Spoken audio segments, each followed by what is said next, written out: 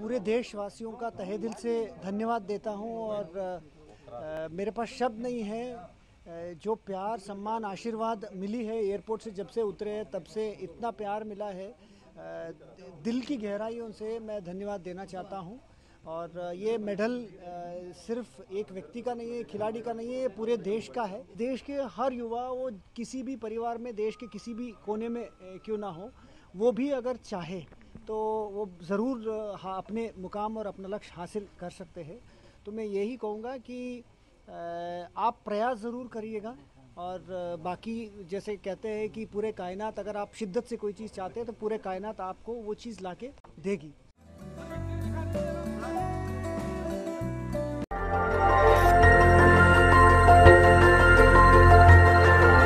देखते रहिए डीबी भारती समाचार।